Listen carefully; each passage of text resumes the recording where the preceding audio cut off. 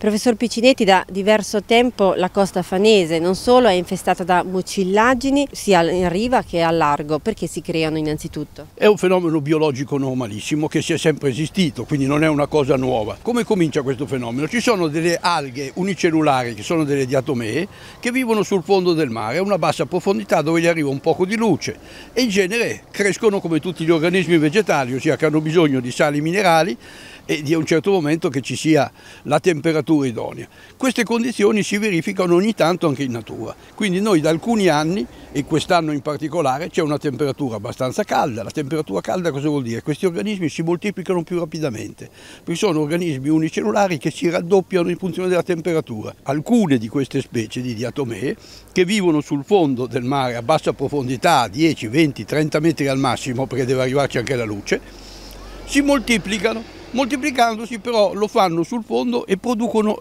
un poco di muco, di gelatina che la lasciano lì intorno perché da una cellula per dividersi in due hanno bisogno di farlo in una certa modalità e questa modalità è che deve avvenire in un ambiente protetto e protetto dalla gelatina.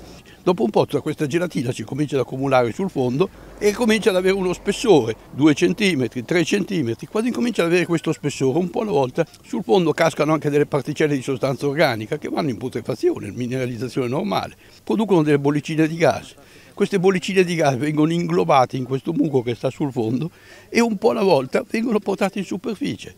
Che cosa provoca questa situazione di questo muco che è prodotto? Evidentemente è un muco che è un prodotto naturale, quindi non è un qualche cosa che possa dare un fastidio eh, alla pelle, dare un fastidio a qualcuno, uccidere qualcuno, no, è una sostanza organica, quindi a un certo momento tranquillissima e non succede niente, solo che sporca. Se uno si fa il bagno e va a finire in questo muco, evidentemente si viene fuori con un po' di appiccicaticcio sopra che non è piacevole, quindi bisogna farsi una doccia e se uno ha la doccia magari con un po' di acqua che non sia proprio gelata, gli va benissimo. C'è una soluzione affinché queste mucillagini prima o poi vadano via? No, la soluzione non c'è perché fino a che ci sono le condizioni queste continuano a moltiplicarsi, loro si moltiplicano sul fondo, poi dal fondo un po' alla volta vengono in superficie, solo che provocano una serie di effetti e di conseguenze che sono anche molto più gravi.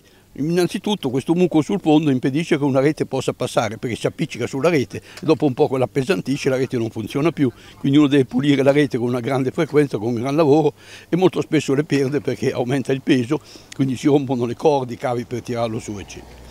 Ma oltre a questo, questo muco va anche a intasare un po' il raffreddamento dei motori perché praticamente intasa i filtri e quindi c'è un surriscaldamento con tutto un problema che, vengono, che si ottiene in questo. Che cosa succede inoltre? Inoltre che questo muco che sta sul fondo impedisce anche uno scambio di ossigeno tra il fondo, gli organismi che ci vivono, immaginiamo le vongole, che stanno sul fondo evidentemente non hanno più l'ossigeno sufficiente perché c'è questo filtro di sostanza organica che sta lì e questo in alcuni casi se dura molto loro due o tre giorni le vongole resistono, ma non possono resistere un mese in queste condizioni ed ecco che quindi a un certo punto ci sono dei danni anche alle risorse biologiche e agli organismi di fondo. Ecco, oltre alle vongole c'è qualche altra specie marina che ne risente?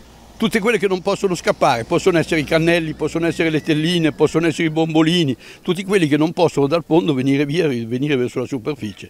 I pesci scappano i pesci evidentemente quando manca l'ossigeno viene un po' più sopra, si, si, alza, si muove. Chi riesce a camminare non ha un grosso effetto perché nella massa d'acqua sopra l'ossigeno c'è, quindi per poter vivere gli organismi continuano a vivere. Chi è che è legato al fondo che non riesce a nuotare, come ci sono molti organismi, le ostriche non, non, non nuotano, quindi se stanno sul fondo manca l'ossigeno dopo una settimana muoiono, questo è normale.